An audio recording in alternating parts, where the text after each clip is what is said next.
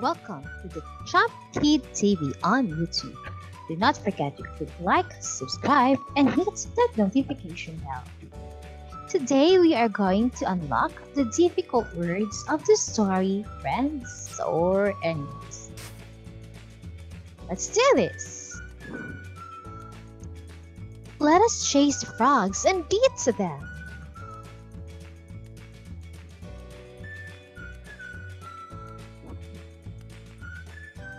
What does the word chase mean? A. Run after. B. See. The correct answer is run after.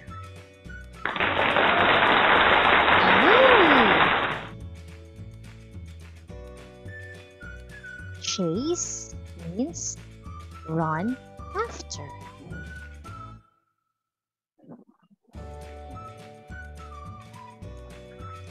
The worms are nibbling on the tender leaves. The worms are nibbling on the tender leaves.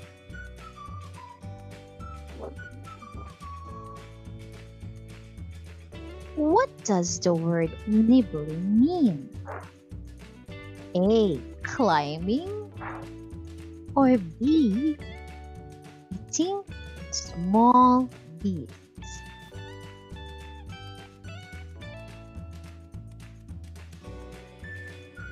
Correct answer is letter B.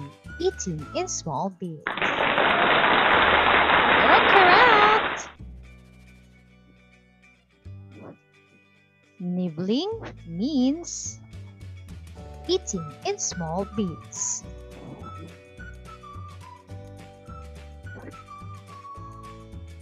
Frogs catch their prey with their sticky tongue and swallow them.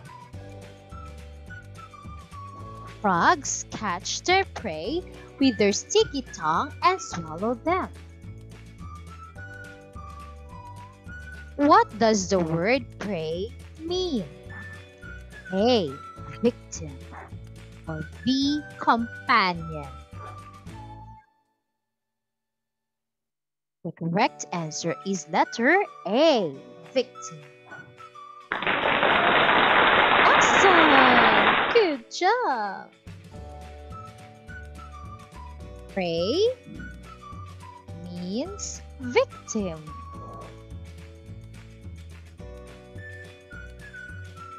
The tiny things in the container, called wrigglers, will soon grow into big mosquitoes.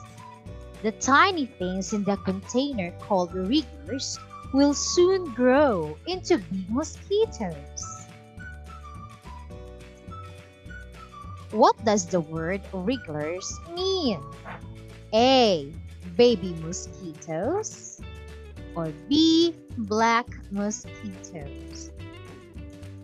The correct answer is letter A. Baby mosquitoes. Hooray!